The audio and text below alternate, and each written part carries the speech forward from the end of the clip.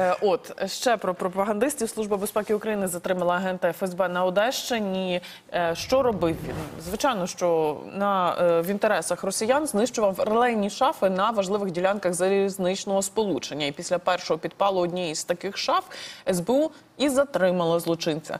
За наявними даними він готувався до нових диверсій на об'єктах транспортної інфраструктури. Під час обшуків в нього в помешканні знайшли дві бойові гранати Ф1 і мобільний телефон, яким він якраз користувався, аби ко- координувати свої дії з ворогом.